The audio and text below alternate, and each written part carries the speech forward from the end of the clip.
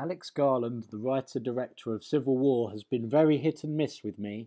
The first half of his stories hit really well, but the second part usually misses the target, veering off wildly, sometimes crossing into a completely different genre.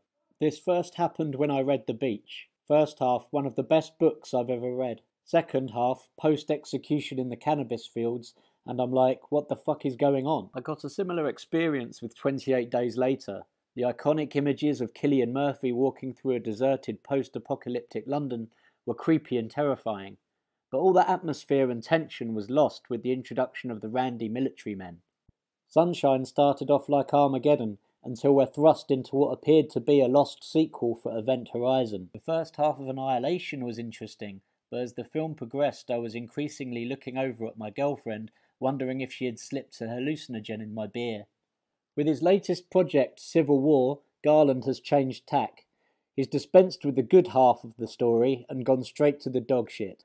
This whole movie is very disappointing. The story follows a group of war correspondents and photographers who are covering a brutal civil war raging across America.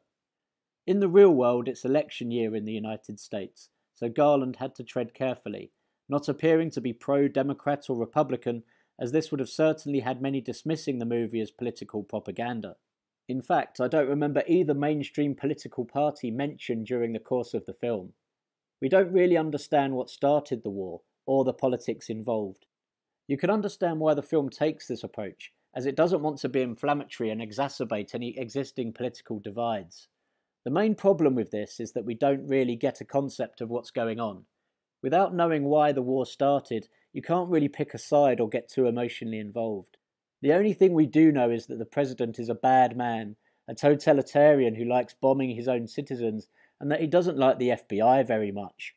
The film attempts to unify any existing political opponents in the audience by creating an unlikely military alliance between California and Texas.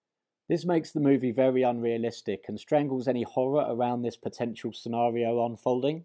The film tries to ignore this limitation by not focusing too much on the war itself, but rather telling the story from the perspective of the aforementioned war correspondents as they make their way from New York to Washington.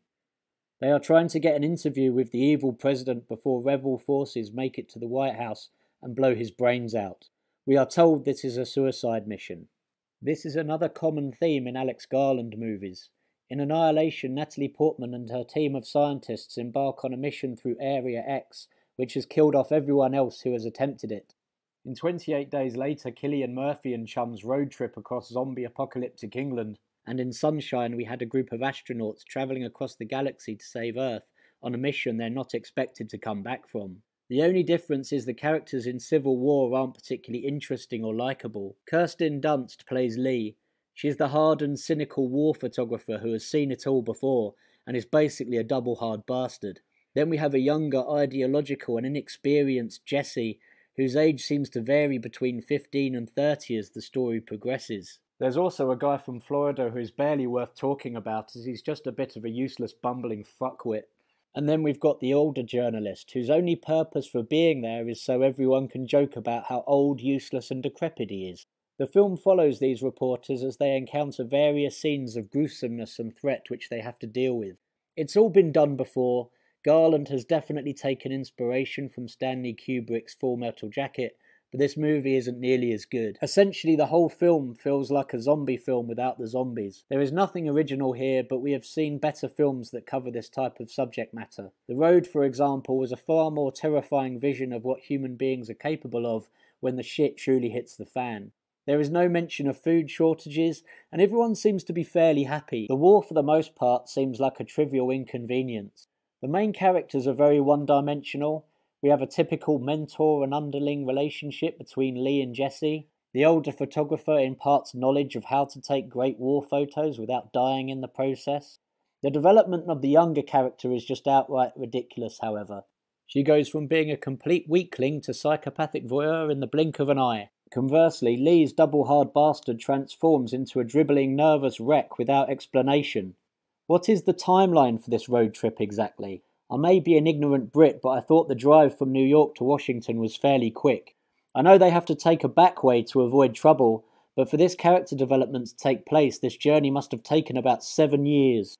We are introduced to two reporters from Hong Kong in a bizarre and out of context frat boy car chase and passenger swap scene that wouldn't be out of place in Dazed and Confused or the actual road trip movie. The introduction of these non white characters is insanely convenient for the plot, as I've barely blinked before our protagonists run into a group of KKK paramilitaries who have traded their white hoods for Elton John sunglasses. Although this scene doesn't have anything we haven't seen before, it is by far the best part of the film due to the introduction of Jesse Plemons, who is rechanneling Todd from Breaking Bad. For the first time, there is an overwhelming feeling of threat and tension. Unfortunately, this scene only lasts for about two minutes, so if you've seen the trailer and are hoping for an extended intervention from the wildly talented Jesse Plemons, you'll be sorely disappointed. Speaking of disappointments, the end battle doesn't really land for me either. It didn't really feel like the whole city was being overwhelmed with an invading force. The incursion in the White House also felt unrealistic and very low budget. The concept of a modern civil war playing out across America was an interesting premise, but ultimately this movie was pretty forgettable. There have been other war movies like Blood Diamond which were much better. There was no emotional payoff, we didn't really get to know or care about any of the characters. To be honest, the whole film feels very rushed, and I honestly think it would have worked better as a mini series. It was pretty obvious who was going to die and how they were going to die. Speaking of which, somebody really needs to learn the art of rugby tackling. Lesson 101 Dive to the floor if you're going to save someone from a bullet. Don't just stand there like a utter lemon because it fits the plot. Garland saved the worst till last with a truly awful end scene, which is where he finally introduced one of his mid film genre swaps, pivoting this movie to laugh out loud comedy. The end scene really was that bad. All in all, I think a line from a Guns N' Roses song could summarise this film more perfectly. I don't need your civil war.